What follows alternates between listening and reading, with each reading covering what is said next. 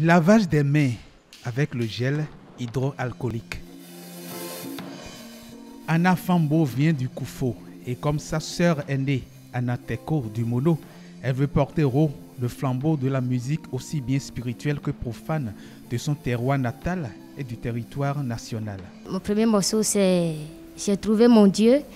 Deuxième morceau, euh, je vais chanter pour Covid-19. Et puis, troisième morceau, je vais chanter Dodo Kintoto. Bienvenue dans le monde du showbiz de cette fête de la musique édition 2020, organisée par l'ANEXMO, l'Agence nationale des événements culturels, sportifs et manifestations officielles.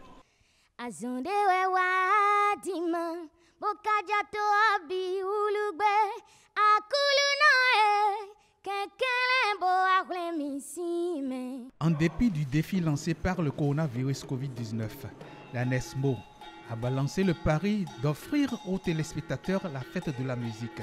Pari relevé en deux phases primaires à Cotonou. Voici la phase à Bomekalavi avec des artistes résidant dans la commune la plus peuplée du pays.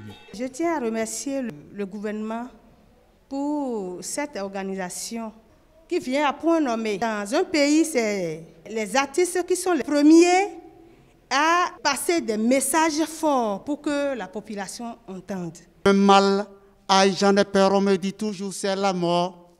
J'ai rencontré la médecine, elle me dit il n'y a pas de moyen, aïe, aïe, aïe. Renseigner, renseigner, on me dit partout corona, corona, corona, maladie de la mort. Et pour ceux qui parlent d'absence de musique gospel, voici Aïe. Je dis chapeau au gouvernement. Cette année, j'ai vu une autre couleur. Quand vous voyez même la communication, vraiment, c'est au top. Donc je tiens à remercier eh, l'ANESMO. Et pour ceux-là qui estiment que la musique traditionnelle est mise en retrait, voilà quelques artistes atypiques. Je fais le rythme goumbé. Je chante en idacha. Mais je vais donner une autre couleur à mon rythme. Pourquoi pas chanter en français, même en anglais aussi? Nous souhaitons une bonne fête à nos fans, que tout le monde observe les mesures barrières.